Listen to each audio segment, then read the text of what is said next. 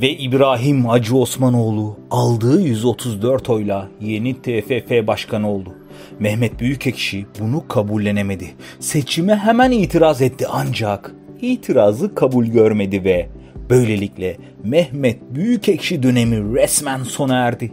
Eski başkan bizden bu kadar herkes hakkını helal etsin diyerek son sözünü söylemiş oldu. TFF başkanlık seçiminden önce başkan adayı İbrahim Hacı Osmanoğlu'yla Fenerbahçe Başkanı Ali Koç'un tokalaşmaması ve Ali Koç'a Hacı Osmanoğlu'nun sert bir surat ifadesiyle bakması hemen gündeme geldi. Ayrıca İbrahim Hacı Osmanoğlu'nun TFF başkanı seçilmesiyle daha önce Ali Koç için söyledikleri hemen akıllara geldi. Yeni başkan şimdi bunların birçoğu büyüdüğü zaman genelde adam olmazlar. Çünkü baba paralarıyla büyüdükleri için bu Ali Koç da onlardan birisi. Büyümüş adam olamamış, züppe olmuş. Genelde o şımarık aile çocukları züppe olur sözleri yeniden gündeme oturdu.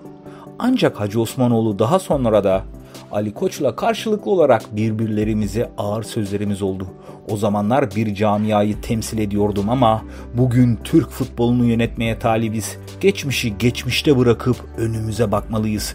Türk futboluna kardeşlik gelmesi lazım. Futbolun bir eğlence olduğunu tüm gençlerimize hatırlatmamız gerekiyor diyerek daha önce söylediklerini de toparlamıştı. Bu arada çiçeği burnunda yeni başkan İbrahim Hacı Osmanoğlu seçilir seçilmez Mecnun Başkan'la yola çıktık. Kardeşliği, barışı sağlamak için yola çıktık. Anadolu'dan büyük teveccüh gördüm. Futbolun adil ve adaletli yönetilmesi gerekli olduğuna inanarak yola çıktım. Ben kazanmadım. Türk futbolu kazandı mesajlarını verdi. Umarız yeni sezonda adaletli ve Türk futbolunun kazanacağı bir sezon gerçekleşir.